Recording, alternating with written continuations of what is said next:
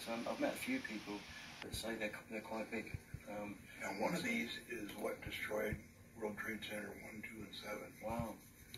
One of these? Yeah. Because what it did is it has a weapon that uses molecular dissociation. Wow. And what it does is it broadcasts low frequency waves which disintegrates the, um, the makeup of matter. Wow. That's why when the World Trade Center blew up, there was nothing left. You know, the biggest thing left was 80 microns in diameter. Yeah. That's why there was so much dust.